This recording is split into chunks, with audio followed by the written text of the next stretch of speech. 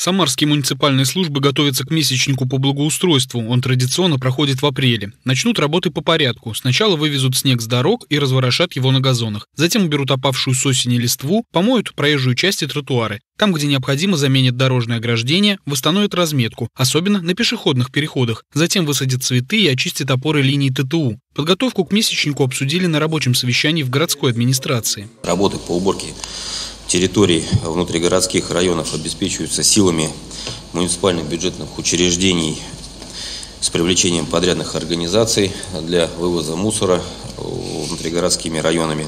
Выполнение работ по уборке территорий планируется исходя из погодных условий и календарного плана по видам работ.